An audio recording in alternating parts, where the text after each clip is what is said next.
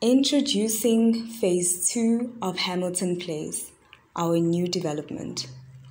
Situated inside the beautiful Helderwyk estate, this complex exceeds expectations with its solar powered streetlights, solar geysers, and gas stoves.